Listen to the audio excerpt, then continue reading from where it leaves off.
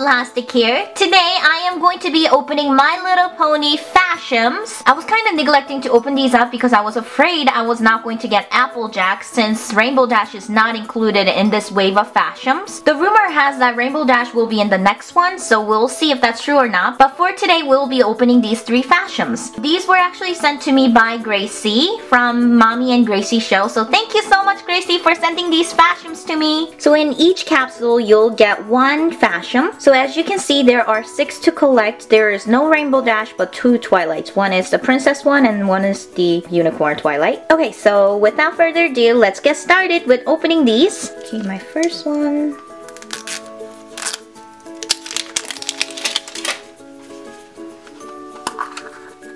So I got Princess Twilight.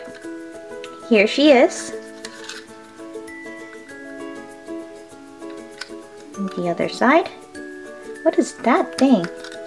What is that gooey thing on your ear? And just like you guys know, she is squishy. Actually, it's cuter than I thought. Here goes my second one. Let's see. Which one could it be? It is Fluttershy. Here she is. The other side. And here goes my last one. Please don't let it be double. I don't want a double.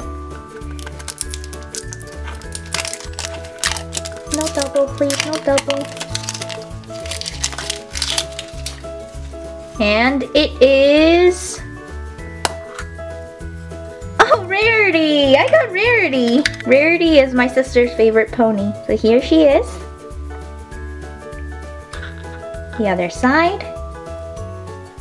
Okay, so here are the fashems I got today. I will have to pick up more to complete the set, but for now I am really happy that I do not have any doubles. Before I go, I want to give quick shoutouts to Phoenix Girl and Marga MMP. Thank you guys so much for watching my videos. So here is me saying hello to you guys like I promised.